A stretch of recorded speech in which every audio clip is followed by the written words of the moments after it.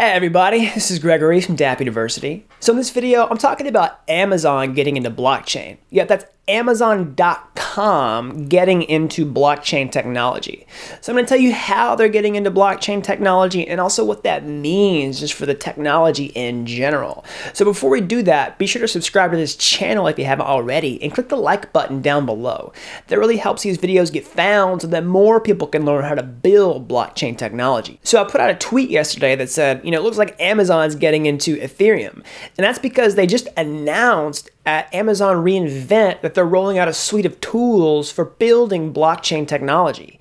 So I'm going to go over what those are here in a second, but let me just pause and reiterate what a big deal this is. You know, if you've watched my other videos on my channel, you might have seen I put out a video that talked about Google getting into Ethereum and Microsoft getting into Ethereum, and now we have Amazon, you know, like Amazon.com getting into Ethereum and getting into blockchain technology in general. So, if you want to know more about how Amazon's using blockchain, you can actually go look at uh, the reInvent keynote. I've got, you know, up here on the screen in this video. You can probably check that out in the video description below. I'll try to throw a link to that video in there if I remember.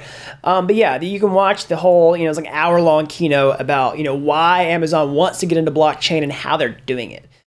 So here's, let me give you a recap of what they're actually rolling out. Amazon's getting into blockchain with Amazon Web Services or AWS. And if you're a software developer and you've you know built anything with the internet before, you've probably either heard of AWS or used it in some capacity. It runs a lot of the internet from databases to servers, etc., etc. Um, so two new AWS services are coming out. The first is managed blockchain. This is something that Amazon's putting out. You can actually check out this article here put out by Amazon that talks about this, but I'll give you some of the highlights and kind of explain what it is.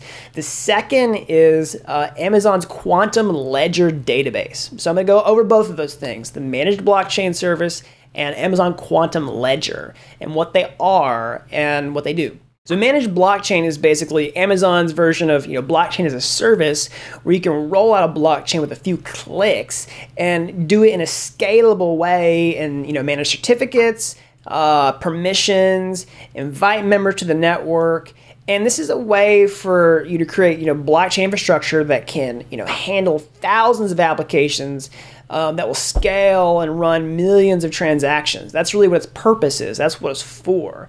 And Amazon has, you know, kind of been opinionated about this. They've dialogued with customers to say, you know, what do you want blockchain for? You know, what are your use cases? What are your pain points? What are you trying to solve? And they feel like they've answered, they feel like they've prevent, presented a technical answer for their uh, customers.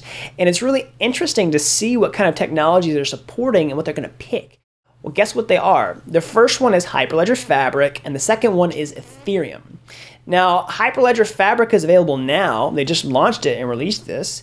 Um, and the second one is Ethereum, which they're planning to support in two months. So that's a huge deal uh, uh, about the technologies that Amazon picked. So it's actually a huge indicator of you know what's working and what people plan to support. So the big benefits of this are that it you know removes the friction of starting a blockchain network, and it does like what I said a minute ago. It basically you know manages a lot of things for you that you don't have to write custom code for. You can just point and click and set everything and configure it in you know an AWS fashion. And another big feature of this is that it plugs into a second Amazon service that they're rolling out, which I mentioned earlier, which is Amazon's Quantum Ledger database. I'm gonna explain what that is. It's not a blockchain, but it's still a cryptographic ledger that offers you a lot of the same benefits that a blockchain does. So basically, if you're plugging in Quantum Ledger database into the managed blockchain service, you're able to just get a record of everything from the managed blockchain service and put it into Quantum Ledger database.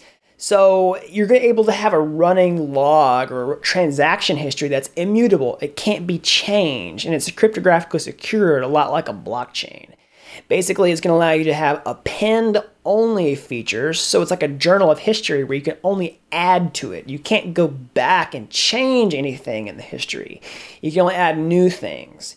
And all these changes are cryptographically chained together and verifiable, a lot like a blockchain. So the benefits to this, you know, for these, you know, enterprise level use cases are transparency, uh, ability to like scale up and down as you need to. The, it's a lot easier to use and it's fast. So that's why they created this kind of thing. And it's, it's like I said, it's not a blockchain. It's a, it's a new piece of technology that serves a specific niche use case that plugs straight into their managed blockchain service, which they've just rolled out. Another two big benefits of this service are that it gives you like a, a SQL-like query interface that you can interact with your blockchain. And it also is just a serverless technology you know, you don't have to run any servers, you don't have to configure or manage anything, and you only have to pay for what you actually use when you're using the service, just like a lot of other AWS models. So that's an overview of, you know, Amazon rolling out these two new blockchain services. I hope you all found this interesting. Like I said, this is a huge deal that Amazon's now in the game, along with Google and Microsoft. These big companies are taking advantage of blockchain technology. They know it's a big deal. They're trying to get in early and build infrastructure. So I hope you all like this video.